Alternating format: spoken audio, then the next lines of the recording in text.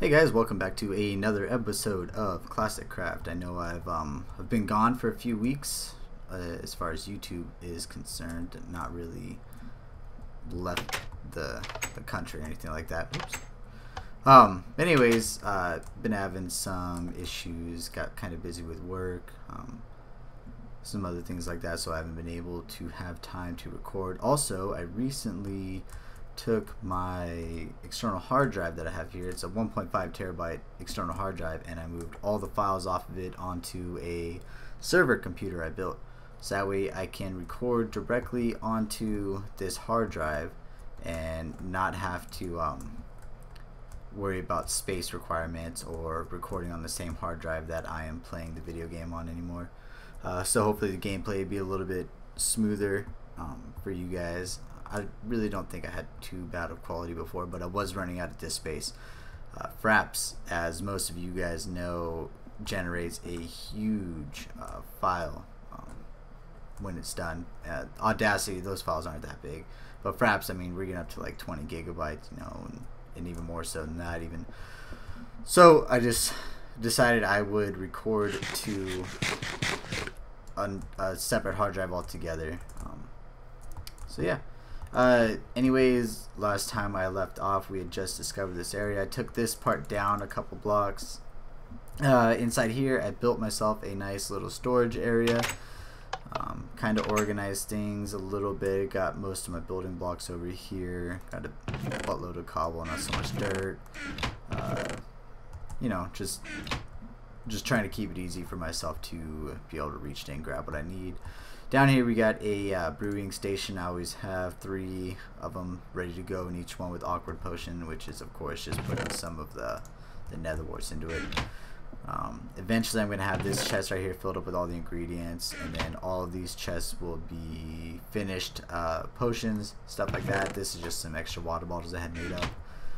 Um, got an enchanting room over here, anvil. Put the floor as uh, crafting blocks because I usually forget to craft my picks or armor before I come here, so figured that was a good idea to do that. Uh, let's head out here real quick. By the way, this isn't like a finished project. This is just something I did while I'm trying to gather enough resources to start to build. Uh, down here, um, I just decided to kind of dig down and see what was going down down here. And then as I was digging down, I think, I believe it was like right around here, I found some coal and I just started digging out the coal and I found out that there was a huge ravine over here. And uh, so I made my way down here and this has been stuck there for like the past week. It hasn't gone away so it's a server glitch I'm assuming. So anyways found this ravine down here. Um, oh shoot I got time for that guy right now. But anyways there was uh, an abandoned cave. Oh cool. Let's get this actually real quick after I take care of this guy uh. Oh, there it is. Great. Great day, great day. Stuck in the web. Awesome. Taking a bit of damage because I'm just wearing some random armor I got off some mobs. Um, oh, wow. Yeah, I haven't been over this area at all. Nice.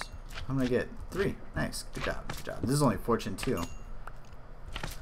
Anyways, uh, found this abandoned mine shaft down here, so I was pretty happy about that. Already ran through and uh, not ransacked the entire thing, but I did get a lot of resources, which is pretty helpful. And I'm hearing a slime, I'm pretty sure, which is great because I was kind of gonna go look for a, um, a swamp so I could, uh, you know, get some slime, stuff like that. Uh, but if this is a slime chunk, then maybe in the future I'll be able to build some kind of slime farm out of it. I've seen that before on YouTube. So that would be pretty cool to have. Let's start selling the slime or something. Out here, uh, I just kind of set up a little, this is my little pen right here. Got a buttload of chickens in here.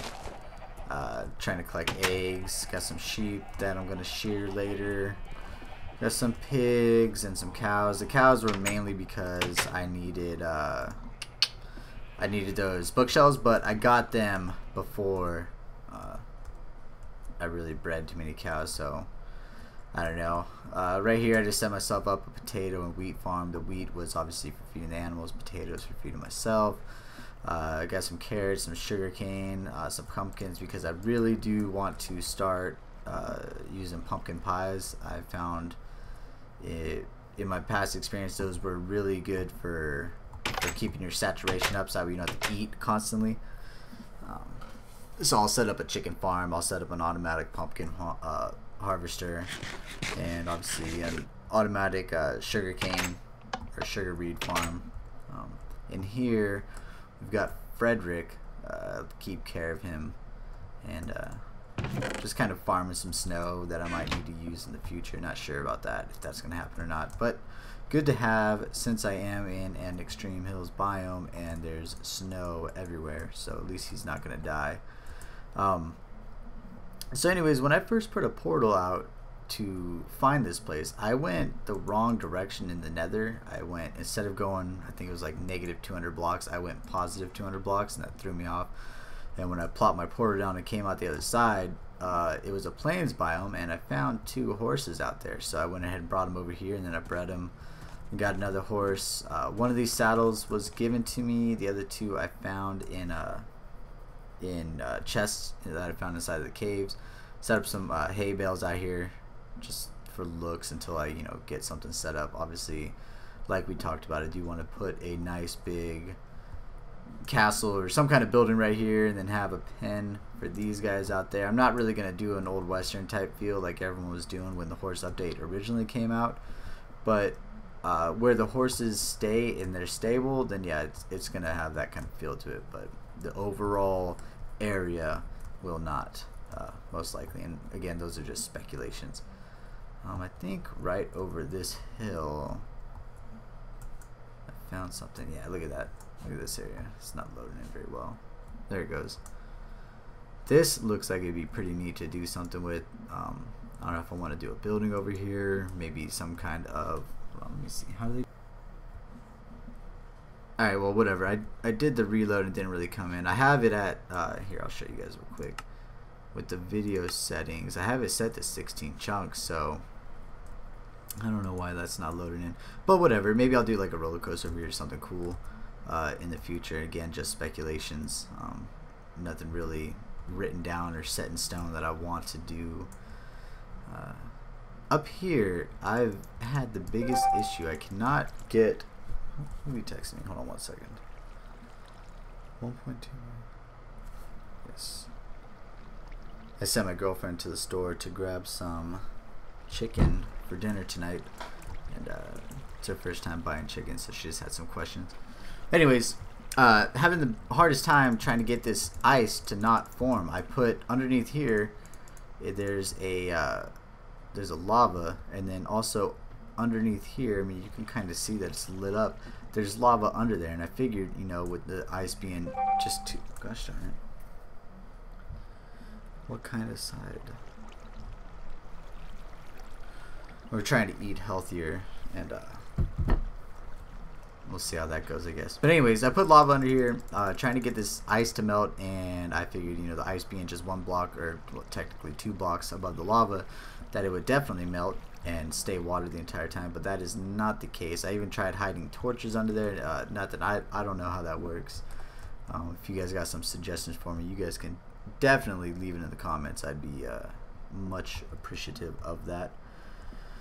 Uh, let's go here. Oh yeah, these leather boots got feather falling four. I can't really beat that.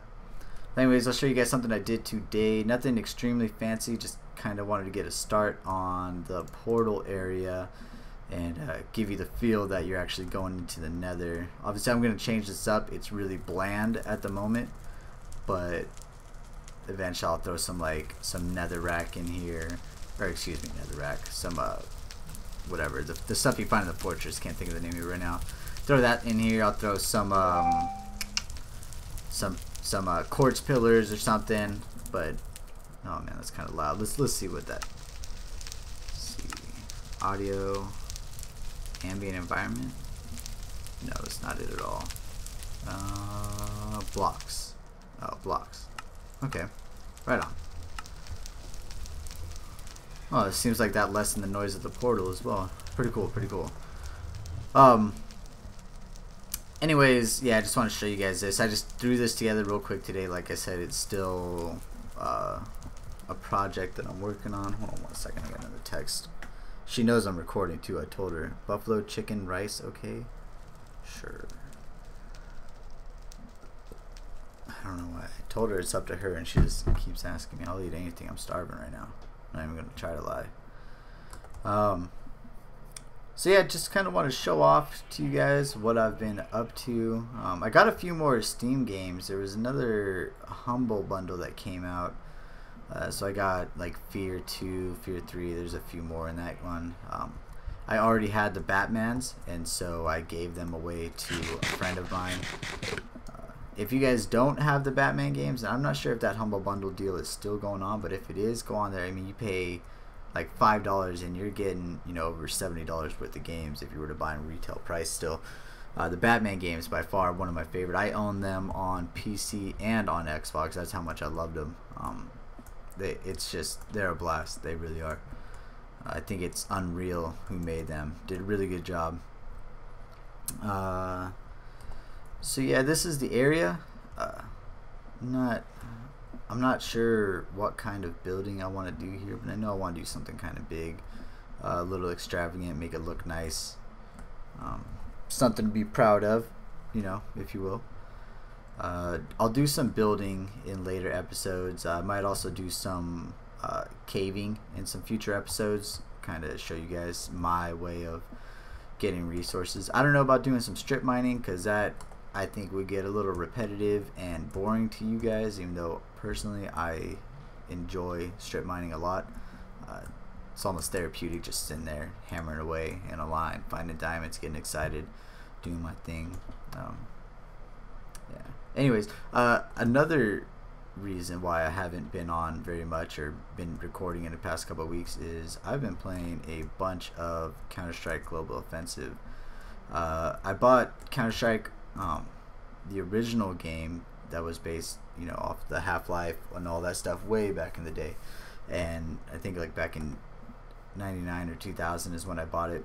Uh, been a huge fan of Counter Strike all my life. Uh, Counter Strike Source came out, wasn't a really big fan, and my buddy who also used to play very competitively with the Counter Strike 1.6 scene told me that Counter Strike Global Offensive was coming out and that uh, it was supposed to kind of be like a rebirth of Counter Strike 1.6, and it definitely was. It way better than Source ever was. The competitive uh, competitiveness of Counter Strike Global Offensive is just phenomenal. I love the game. Um, obviously, there's a lot of trolls on there. It's the internet, and it's you know 2013, but great game. Um, when I'm not playing competitively, I'm always on the Swooble server, which I'm an admin on and that's just it's it's a blast on there. You go on there and play some fun game modes. Uh, they have a mini game server that I go on all the time.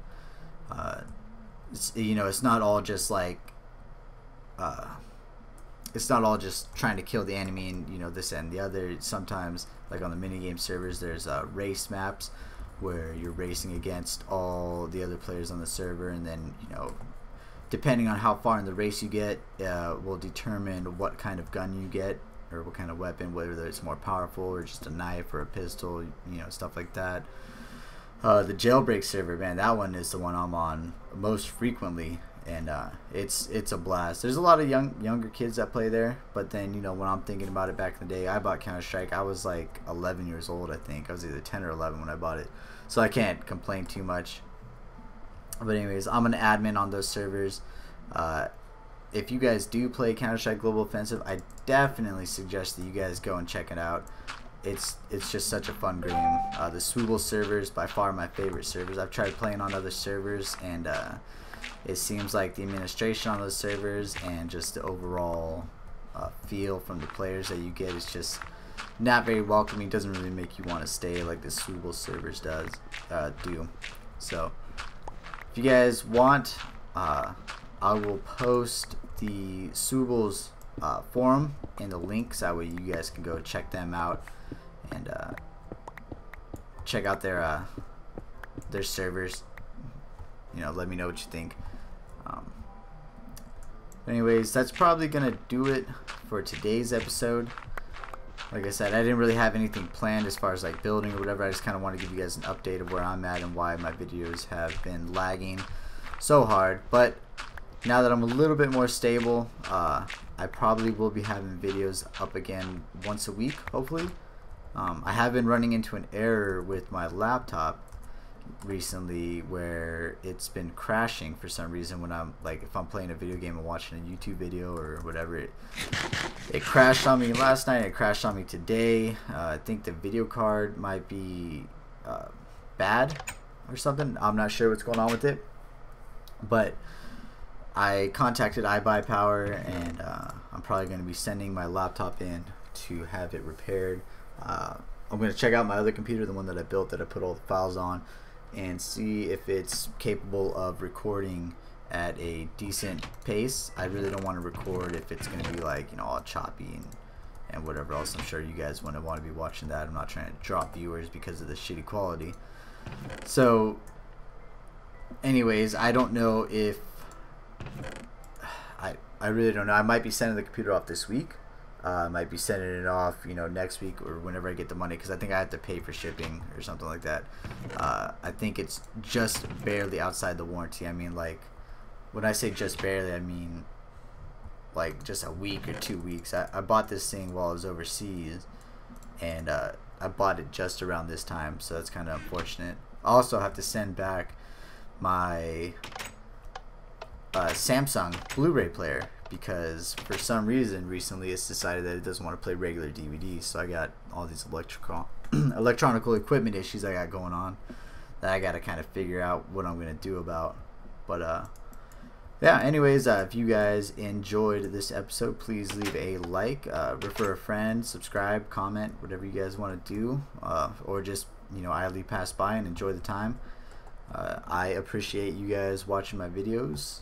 Um, and as always, uh, any constructive criticism that you guys might want to give me, definitely leave it on my page. Uh, you guys can check me out. I'm usually logged into Skype or Steam or Origin. Uh, always on some kind of social media. So, uh, I'll see you guys on the next episode. Later.